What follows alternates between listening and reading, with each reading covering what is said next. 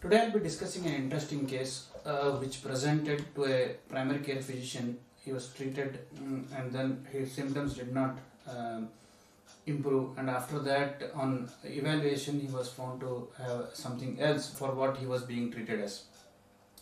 So this is how usually a case of ANCA vasculitis present as. So this gentleman, uh, 25 year old, he presented with history of fever, cough and breathlessness. He had hemoptysis. X-ray showed lung shadows, he had fever and then generally at a primary care level what we do is uh, treat the patient as uh, pulmonary Koch's. So he started receiving treatment as pulmonary Koch's.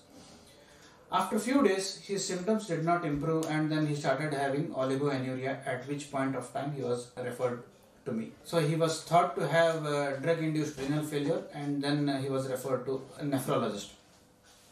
So here, on evaluation, what he had was he had proteinuria, and uh, uh, when, when he presented to me, he had generalized edema, um, oligoanuria. His creatinine was on, around five or six he had to be initiated on dialysis.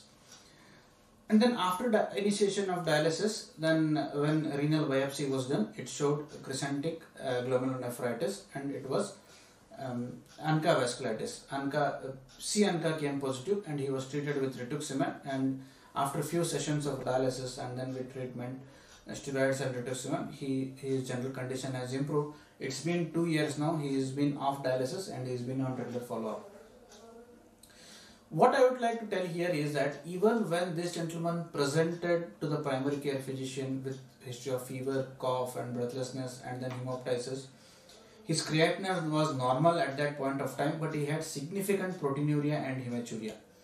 So this is the point which we have to note. But at that point of time that simple urine routine was not given much importance and then he was started on uh, antidepressant treatment.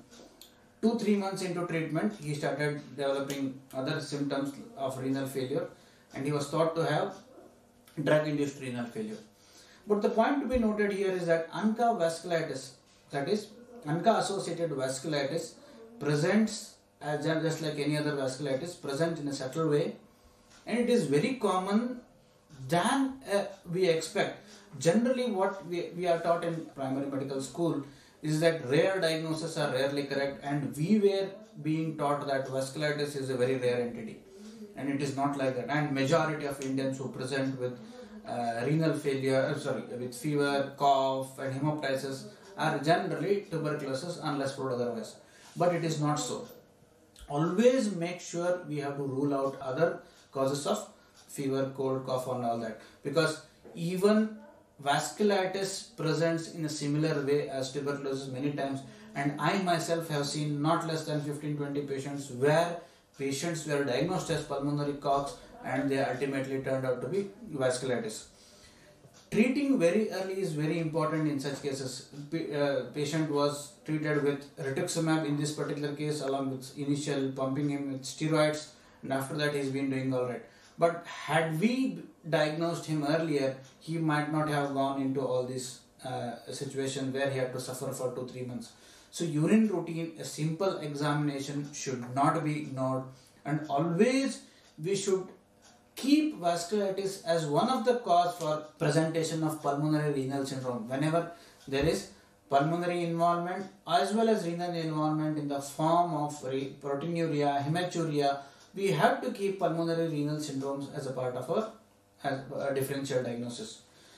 Luckily, he had ANCA vasculitis. ANCA vasculitis response to treatment, but if at all it had it been anti-GBM, anti-glomerular basement membrane disease, and needing dialysis, they rarely revert. They rarely come off dialysis because anti-GBM is one kind of disease where requirement of dialysis is uh, shows that there is significant amount of renal damage and they are non-reversible.